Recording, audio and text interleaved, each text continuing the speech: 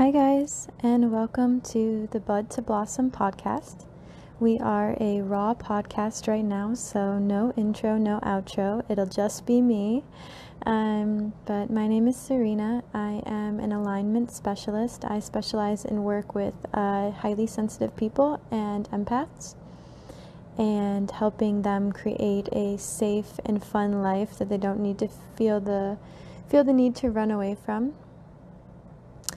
If you resonate with this podcast or my work and you feel called to look into how you can work with me, you can go to my website. That is www.serenawillis.com. Um, and you can see how you can work with me and how to move forward with that. As well, if you feel like donating to this podcast, you can also go to my website. Um, and that is um, the donation link. Without further ado, we are going to talk today a little bit about wisdom. Um, and as this is the first episode, I'd like to say welcome, everybody. So lovely to be here, and I'm very excited to be recording this and looking forward to all the beautiful things that is going to unfold because of this.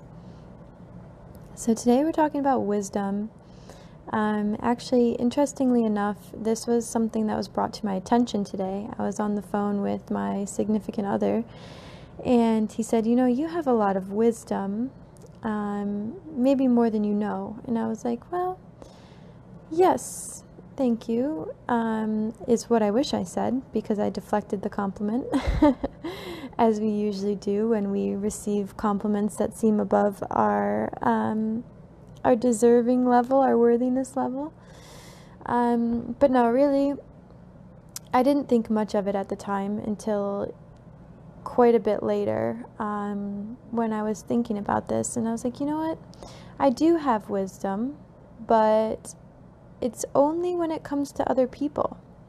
You know, like it's not it's not a daily basis like, you know, that I'm sitting here with these philosophical thoughts and you know, solving the world's problems. It's nothing like that. It's like when I get on the phone with my friends, I have a good ear for listening. I have a good way of allowing people to see, be seen and held and heard. And then I have the ability to, yes, sometimes give good advice. But it's only because the other people are there that I'm actually able to tap into what it is that they need to hear in that moment. So my wisdom is not for me and so this brought me to the place of realizing wow, okay, so wisdom without service is really truly pointless.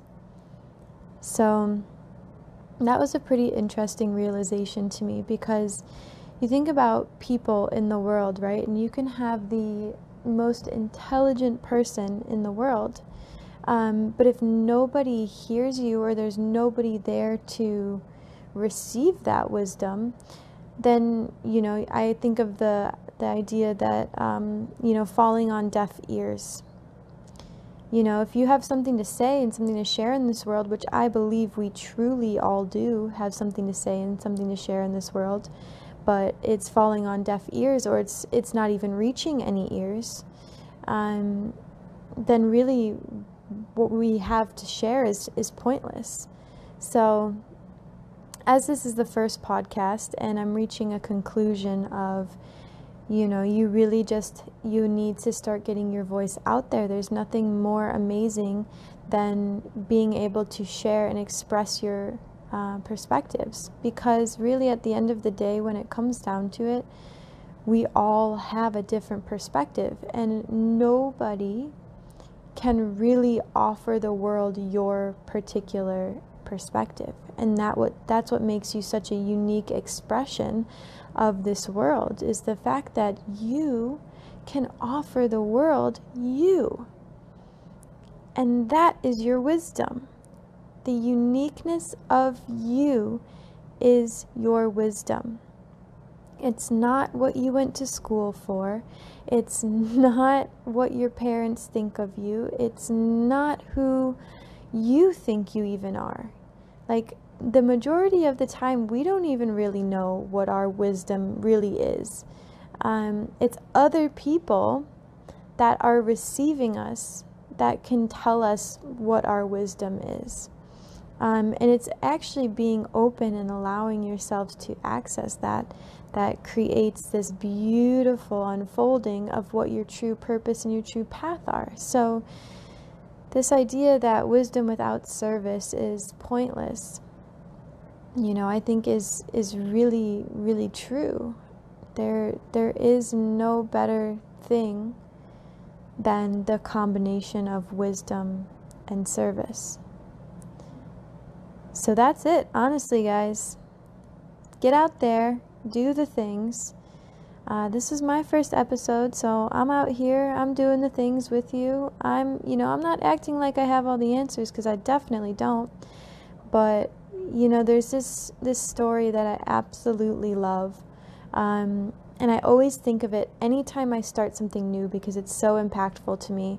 And in this world right now of technology and social media and having access to so many people's uh, attention at so much, you know, so much of the time, is this story that so there was a man and he was walking along the shore of the beach after a really large storm and the entire stretch of coastline, like as far as you could see, there was starfish that were washed up along the shore.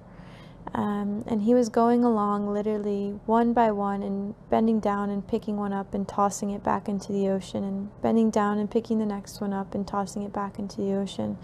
And as he was doing this, there was, you know, a young young kid that came up next to him and was like, "Hey, like, what are you doing?" And he's like, "Oh, I'm just, you know, picking up these starfish." And he's like, "Well, why would you do that? Like, you're never going to be able to get them all, so what's the point? What you're doing, you know, it really doesn't matter." And so the guy, you know, kind of looks at him, he smiles a little bit, and then he bends down and he picks up another starfish and tosses it into the ocean. And he says, Well, you know, it mattered to that one. And so this is the message you guys. This is the message is that you do have a voice, you do have an impact, and we never truly see the impact that one little thing we do. You know, like for all we know, you smile at somebody on the bus, and that keeps them from going home and, you know, taking their anger out on their spouse or their child or something like that and then that turns into something else and then that turns into something else and you know obviously we all know this idea of the butterfly effect and you know that's that's the power that you have when you use your wisdom to serve something other than yourself is you have the ability truly to make a huge difference that we don't even see and can't even conceive of because at the end of the day we are all connected and we do all feel the impacts of every single tiny choice each one of us makes. Um, you know it's it's immense it's immense. It's massive. It's huge. So if i can give one piece of wisdom for today it's just go out and do the thing. Let your voice be heard sing, laugh, dance. Like just by being you, you bring a beauty and a light to this world that nobody else could. Think about that. Just by being you, you bring something to this world that nobody else here can. So that's pretty amazing, which means you're pretty amazing. So, guys, that's all I have for you today. It's a very short, quick, bite sized Thought podcast. And I want to say thank you all for listening, whoever you are out there. And if you like this podcast, please subscribe, share it with other people. That helps us reach new listeners. If you feel the need to donate, you can go to my website, www.serenawillis.com. And I am so appreciative, of course, never expecting, but appreciative of anything that would come in for us. Um, be sure to follow me on Instagram. That is um, at Serena, S E R E N A, dot Ralene, R A L E N E. And that's my Instagram. And yeah, I hope you guys have an amazing day. Maybe next time we will have a true intro and outro, but until then, just enjoy me saying goodbye. Goodbye.